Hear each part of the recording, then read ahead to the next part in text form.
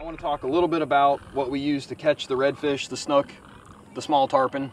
Um, so we're going to start with the live bait part, which is always a great way to do it, especially in the summer. A lot of these fish are real hot. They don't like to eat artificials as well, unless you get them real early in the morning. But this is the bait we use. This is called, called a pilchard.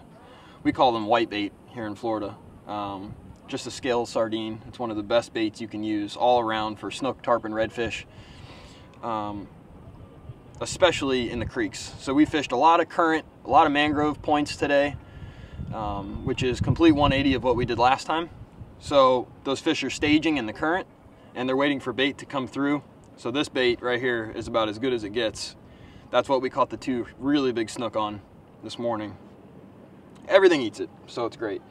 This is the bait that we're gonna demonstrate on how to hook. This is, this is a pilchard, like I said before.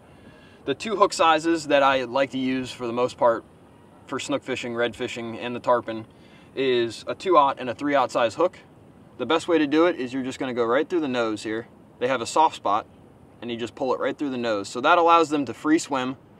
And this 3-aught hook is going to match this bait size. If you were to put a 2-aught hook on this big of a bait, you'll get a lot of bites, but the gap on the bait and the hook is uh, is not big enough. And a lot of times the fish will come right down, right down to the snook or redfish or tarpon's mouth and without getting the hook in it. So always make sure you have a big enough hook, but you don't want to go too big. You'll know if you're not getting bites that the hook is going to be too big and downsize just a little bit, but it has to it has to match the bait size. So with a little bit smaller white bait, which is most common, you want to use a 2-aught size hook. A little bit bigger, you want to use a 3 or a 4. This is a Skitter Walk one of the best topwater baits. And it, what you can see is, you know how it's a topwater is when it doesn't have a lip on it. So what, you, what you're gonna do is it's just gonna go along the top of the water. This attracts a lot of fish. Early morning, late evening is the time I recommend using a topwater. Once it gets a little bit hot, if you don't have live bait, you wanna use something that swims under the surface like this MirrOdine.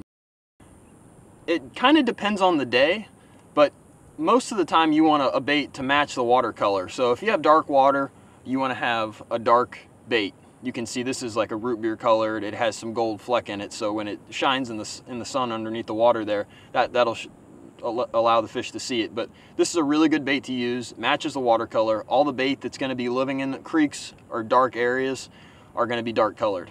Now, sometimes if you need just a reaction strike, Flats HQ also makes this in white.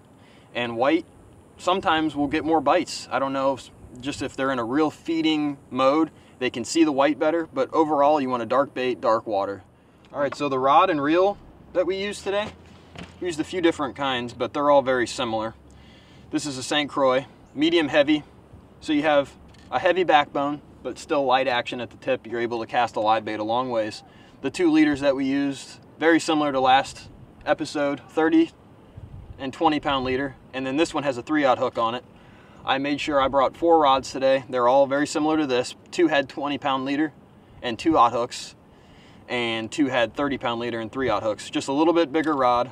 Uh, that first snook, that first big snook we caught, we got lucky, caught it on the 20 pound leader. I don't recommend doing that. That's hard to do. Um, we got a little bit lucky with that one and I said, you know what? I bet you there's another big snook in there. So I actually picked up another rod that had the 30 pound leader and a three aught hook and uh, just by the skin of our teeth, we got that monster snook. I don't know if we'd have caught it on 20 pound leader. So that's it's always good to have a few rods rigged up, ready to go with different pound leader. You never know what you're gonna run into.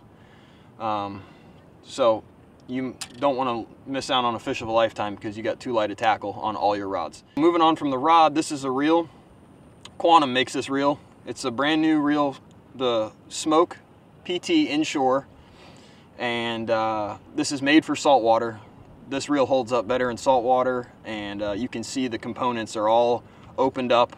They're easy to wash out. The drag system is very smooth on them and uh, really good reel overall inshore.